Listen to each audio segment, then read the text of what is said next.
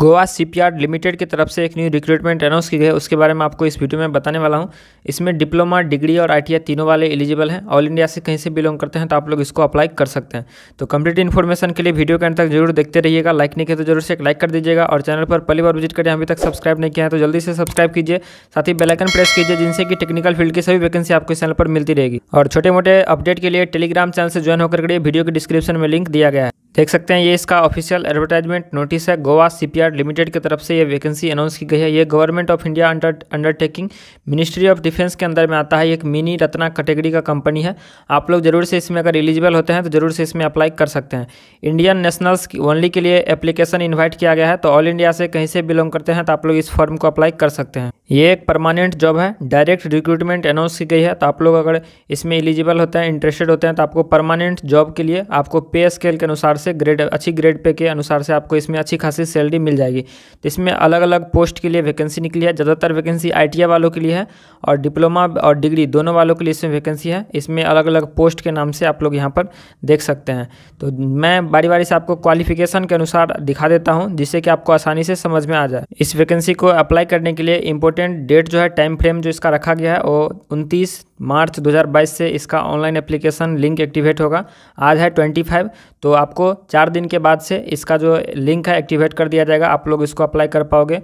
Last date जो है, अट्ठाईस चार दो हज़ार बाईस, अट्ठाईस अप्रैल दो हज़ार बाईस तक आप लोग इसको अप्लाई कर पाओगे और लास्ट डेट जो है इसका रिसिप्ट ऑनलाइन कॉपी आपको इसके रिलेवेंट डॉक्यूमेंट के साथ आपको इसके एड्रेस पर भेजने का, वो है नौ पाँच दो हज़ार बाईस। तो इस डेट तक आप लोग ज़रूर से ये सब काम कर दीजिएगा। अब मैं आप लोग को details of post and terms and condition मैं बताता हूँ बारी बारी से।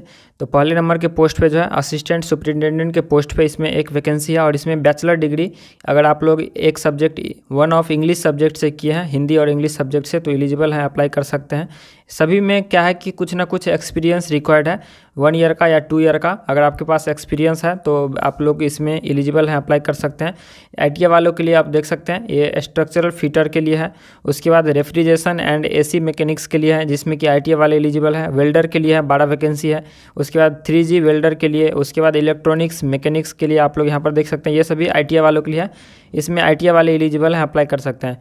अब मैं आप लोग को डिप्लोमा वालों के लिए दिखा देता हूँ। तो डिप्लोमा वालों के लिए इसमें जो पोस्ट है टेक्निकल असिस्टेंट के लिए, इसमें देख सकते हैं इलेक्ट्रिकल के लिए सेवन वैकेंसी है। इसमें आपको मिनिमम टू ईयर का diploma electrical engineering civil mechanical electrical तीनों ब्रांच में दिया गया आगे मैं दिखा देता हूँ। तो मिनिमम टू ईयर का टू ईयर इसलिए लिखा गया वैसे डिप्लोमा थ्री ईयर का होता है टू ईयर इसलिए लिखा गया अगर कोई एल e के थ्रू लेटरल एंट्री के थ्रू अगर कोई डिप्लोमा करता है तो उसके लिए टू ईयर का ही डिप्लोमा होता है। तो इसीलिए अगर आप लोग कहीं लेटरल एंट्री से भी किए हैं डिप्लोमा तो आप लोग इसमें एलिजिबल है। मिनिमम टू ईयर का आपको इसमें पोस्ट क्वालिफिकेशन एक्सपीरियंस रखा गया है। दूसरे नंबर पे मैकेनिकल वालों के लिए देख सकते हैं मिनिमम टू ईयर का diploma in in mechanical engineering इसमें भी टू ईयर का एक्सपीरियंस रिक्वायर्ड है। उसके बाद इलेक्ट्रिकल वालों के लिए है diploma in electrical engineering civil वालों के लिए भी है, और इलेक्ट्रॉनिक्स ब्रांच आप लोग देख सकते हैं डिप्लोमा इन इलेक्ट्रॉनिक्स इंजीनियरिंग उसके बाद यहाँ पर देख सकते हैं मैकेनिकल वालों के लिए, उसके बाद यहाँ पर इलेक्ट्रिकल वालों के लिए इलेक्ट्रॉनिक्स वालों के लिए, और सिविल वालों के लिए आपको नीचे में दिख जाएगा यहाँ।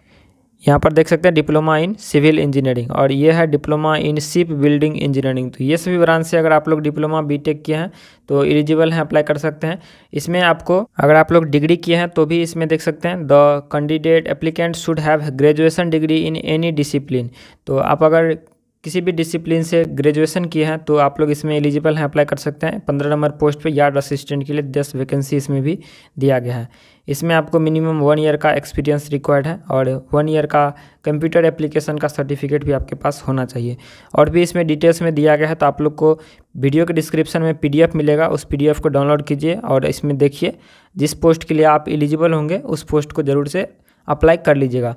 अब बात करते हैं एप्लीकेशन फ़ी की तो इसमें दो सौ रुपये का एप्लीकेशन फ़ी पे करने होंगे, जिसको कि आप लोग को डिमांड ड्राफ्ट के माध्यम से पे करने होंगे। डिमांड ड्राफ्ट आपको बैंक में जा कर के बनाना होगा। ये गोवा सीपीआर लिमिटेड के नाम से। यहाँ पर आपको पेबल एट वास्को डा वास्को डिगामा यहाँ पर के नाम से किसी भी बैंक में जा कर के आप लोग इसको बना सकते हैं।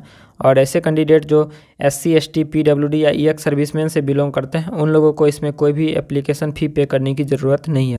इसको अप्लाई करने का लिंक आपको वीडियो के डिस्क्रिप्शन में मिल जाएगा और ये पीडीएफ डाउनलोड करने के लिए वीडियो के डिस्क्रिप्शन से या मेरे टेलीग्राम चैनल से ज्वाइन हो जाइए और इसको अप्लाई करके आपको इस एड्रेस पर पोस्ट ऑफ़िस के माध्यम से सेंड करना होगा और इसमें डिटेल्स में दिया गया है। ऑनलाइन एप्लीकेशन आपको उनतीस तीन दो से स्टार्ट होगा और लास्ट डेट जो है अट्ठाईस चार दो इसमें रखा गया है और यहाँ पर लास्ट डेट जो है प्रिंट आउट सेंड करने का नौ पाँच दो रखा गया है। यहाँ पर एड्रेस दिया गया है। तो आई होप आप इसको समझे होंगे। जो भी मेन इन्फॉर्मेशन था, मैंने आपको बता दिया।